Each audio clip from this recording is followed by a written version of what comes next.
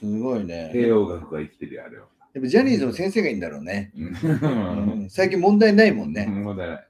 あえ、ここ何年ぐらいで雇われてるんですか？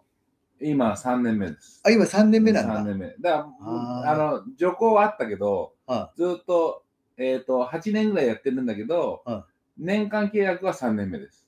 あ、そうなんですね。ああ、じゃあやっぱり、慎吾先生が色濃くなってきたから、最近はあのジャニーズのなんか乱交パーティーとか、そういうのもなくなってきたんでしょうね。ないですね。はい、はい。はさせません。い、はい。させません。させません。させませんよ、ジャニーズくん。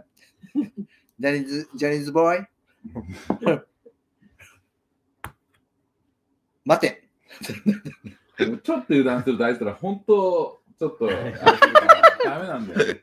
本当ダメ。いい女が捕まんないぞっていうね。それで、いい、あの、女の子をそういうふうに足毛にしないの。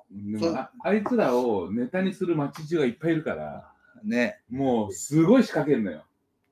うん、だからダメ、あいつら本当に。世間知らずだから。ね、世間知うん世間知ちゃんと敬語を使いなさい。それでね。そう、世間知らずなの。慎吾先生にも使ってくださいよ、ちゃんと。全然使わないよ。超食べてみんな。ちゃんと使ってお願いしますよ。ね。で日本は縦社会だから自分が大人になった時にそれ嫌でしょ？嫌でしょ？だから自分が大人になった時にそういう風だと嫌だなっていうね。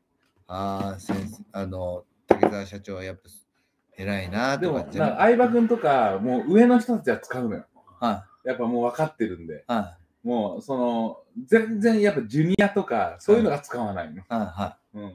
でも今はっていう許してくださいっていう気持ちがあるのか、それだったら許す。うん。俺は全然関係ないけどね。俺ザニーズだからね。